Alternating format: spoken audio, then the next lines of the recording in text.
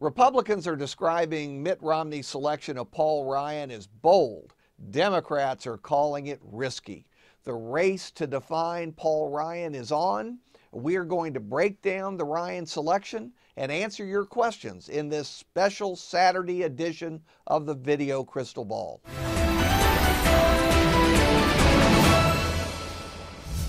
All vice presidential selections are inherently surprising because uh, they're made by one person, the nominee, and obviously nobody other than a handful of people at the top of a campaign really know in advance. But I think this one was more surprising than most. Uh, most individuals who uh, knew Romney in politics and in business called him cautious. Well, this is not a cautious choice. Romney decided to go bold. And uh, this is going to have uh, positive and negative implications for his campaign. I think the most important things to remember about this choice is, first of all, it's a national pick. This is not a state pick. It's not a, a Rob Portman uh, pick designed to win Ohio, for example. Yes, there may be uh, a plus in Wisconsin, but this isn't about Wisconsin. It isn't about the Rust Belt. It's about big issues, big things like the debt, like the fiscal crisis, uh, about changing the tone in the campaign. And the second thing that's most important about this choice is it suggests that the Romney campaign sees the election as a battle of the party bases. It's the Democratic base versus the Republican base. Why? First of all, there are very few undecideds and swing voters, no matter what some of these polls are telling you. We're literally in the low to mid single digits among undecideds. Uh, the vast majority of voters, 90 to 95 percent, have already made up their minds. So if it's a battle of the bases, then it's a battle of turnout. Which party base is more enthused? Which party base will work harder? Which party base will have a higher turnout? The Romney campaign clearly believes that adding Paul Ryan enthuses Republican conservatives who've never been crazy about Mitt Romney, causes them to work harder, pumps up the turnout, and enables them to win the war of the bases. It's very rare for a House member to be selected. Uh, you have to go back uh, to 1984 for the last case when Geraldine Ferraro was picked by Walter Mondale on the Democratic side. Uh, and we know how that went. Uh, in fact, uh, Mondale and Ferraro didn't even carry New York. Uh, prior to that was the last Republican example, 1964, when nominee Barry Goldwater uh, picked Congressman Bill Miller, a very little known uh, congressman from New York State. And of course, the Republicans didn't carry New York. So those are two bad precedents. But if you go back to the last House member who was picked and elected, that would, of course, be John Nance Garner, who was Speaker of the House when Franklin Roosevelt picked him in 1932. And he and Roosevelt went on to two victories in 32 and 36 for president and vice president. Every vice presidential candidate has pluses and has minuses. You know, Mother Teresa's not available for these selections. In Paul Ryan's case, inevitably, his 14 year record in Congress is going to be an issue. There are thousands of votes for the Democrats to mine. Obviously, today we're focusing on uh, Ryan's vote for the auto bailout, his vote for TARP, uh, but I guarantee you there are many, many technical votes that most of us would never remember. But the Democratic opposition researchers will find, and you'll be seeing them in TV ads and used on the stump. So there's plenty to vet on Paul Ryan, just as there would have been for any nominee. Many people are suggesting today that the fact that Romney picked Ryan means that Romney deep down thinks that he can't win with a safe choice, that he needs to go big and bold to shake things up, kind of like McCain did with Palin. I tend to think that's a misreading. Uh, you know, other than maybe Barry Goldwater, I don't think there's been a modern presidential nominee who didn't deep down think he was going to win. That includes Bob Dole in 96. It even includes George McGovern, who really believed that somehow he would win in 72. So I think Romney, who has a, a much better reason to think that he might actually win in the end, uh, believes that he is looking not simply for a running mate, but a governing partner. Uh, he and Ryan uh, think alike in a lot of ways. They're very data oriented. Uh, they care about fiscal matters. Uh, it's a good match intellectually for the rigors and the challenges of the presidency, should they be elected. To me, that's the best explanation, but there may be other layers of reasons that we don't yet know. And now, as we always do when we have a video crystal ball, we include your questions sent to us on Twitter. Here's a sampling that we're going to answer today. Question one How much does the Ryan pick really change this presidential race? At the very least, is Wisconsin now lean Republican? We're going to be watching the Wisconsin round of new polls very, very closely. The norm is that a new presidential selection can give you a bounce, particularly in the home state of the candidate. That doesn't always happen. And sometimes when it happens, it's just a point or two.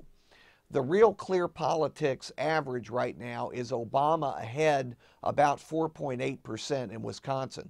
I doubt seriously that Ryan gives Romney a five point plus bounce in Wisconsin. Eventually he may, we don't know. Uh, but it it's not just about winning Wisconsin, it's also about keeping it close, causing the Obama Biden team to spend precious campaign time and precious campaign money defending what is normally a blue state. Although we need to remember in 2000 and 2004, uh, the Democrats won Wisconsin, but by two tenths of 1% and four tenths of 1%. Wisconsin can be very, very close. It may be again. We'll have to see. The second question is any possibility that Paul Ryan has a Palin effect where he actually becomes greater than the presidential candidate? Well, that's certainly happening today in certain circles, and there's no question that conservatives are over the moon about Paul Ryan. That's a place they've never been about Mitt Romney. But they also give Romney credit, obviously, for picking Ryan.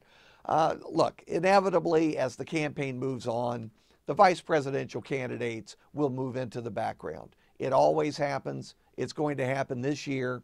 You have on October 11th the vice presidential debate. That will probably be the high point for these two vice presidential candidates and for Paul Ryan. In the end, as always, it's a choice between the two presidential nominees. Now, the third question from Twitter does Paul Ryan's pick suggest that Mitt Romney is not sure the election is simply a referendum on President Obama's economic performance? Therefore, that it has to be a choice election, a choice between Romney and Obama. Every election is a combination of a referendum on the incumbent party's performance, but also a choice between the incumbent party's nominee and the challenger. I think it's important for Mitt Romney uh, to uh, show that he has a vision for America too. And I don't think that's come across in this campaign yet. How could it when the entire campaign has been focused on gaffes and negative TV ads? So the Romney pick does enable Romney uh, to present uh, Paul Ryan and his budget as part of the Romney vision, an alternative governing plan for America. Uh, that, that will help to uh, enrich the dialogue during the campaign. I don't think, though, that it changes uh, the basis of an election involving an incumbent coming up for reelection. Because in the end, most people say, do we want the incumbent to continue for four years? Are we better off than we were four years ago, or do we want to change? And so, while both pieces of the equation matter, uh, the referendum on the incumbent is the more important piece. And now I'm going to turn this over to my terrific crystal ball colleagues, Kyle Kondik and Jeff Skelley, and each of them will also answer one of the questions you sent to us on Twitter. Now we have a Twitter question from user AeroFanatic14M who asks, when is the last time Wisconsin and Michigan went for opposite candidates in a presidential election? Uh, the answer is 1988. Uh, that year, Michael Dukakis uh, won Wisconsin by about three and a half percentage points, and George H.W. Bush carried Michigan by about eight. Um, obviously, with Paul Ryan on the ticket, uh, Republicans are hopeful that Wisconsin might go red this time. Uh, consider this fact John Kerry and Al Gore only won Wisconsin by less than half a percentage point each. Uh, so, obviously, there's, there are reasons for Republicans to be hopeful that perhaps Paul Ryan could add the extra oomph to put them over the top in uh, the Badger State. Uh, Of course, they'd also like to be competitive in Michigan, where Mitt Romney grew up. However, that may be a tougher haul. Uh, it's gone more Democratic in every election since 1992 than Wisconsin. So we'll have to see. And now I'm going to toss it over to my colleague, Kyle Kondik, for another question. Our final question is this uh, How does Paul Ryan's selection affect the Democrats' chances in the House? Uh, Democrats are very, very happy that Paul Ryan was selected. Uh, in fact, the communications director for the Democratic Congressional Campaign Committee was tweeting uh, on Saturday morning that he's saying this is what uh, Christmas morning must feel like. Uh, the reason why Democrats are so excited is because they have been trying to nationalize uh, the House races by running against Paul Ryan's budget, which would make uh, uh, major changes to Medicare and, and, and has some other um, uh, provisions that Democrats want to try to run against. And so with Ryan at the top of the ticket, uh, it's easier for them to run against the Ryan budget, which virtually all of the Republicans in the House voted for. Uh, whether that changes the calculus in the House remains to be seen. Uh, I still think Republicans are pretty strong favorites to hold their majority in the House. Thanks again for joining us for another uh, edition of the Video Crystal Ball. Uh, and make sure to follow the Crystal Ball as we go to the conventions in a few weeks. Uh, and keep sending us your questions, and we'll talk to you again soon.